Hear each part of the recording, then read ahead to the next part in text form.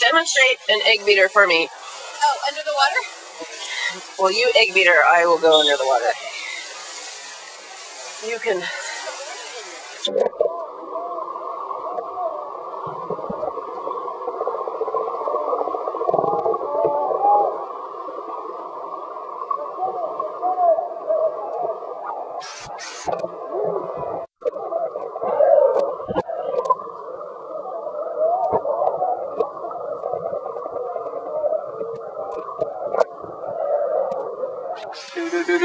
and the hands.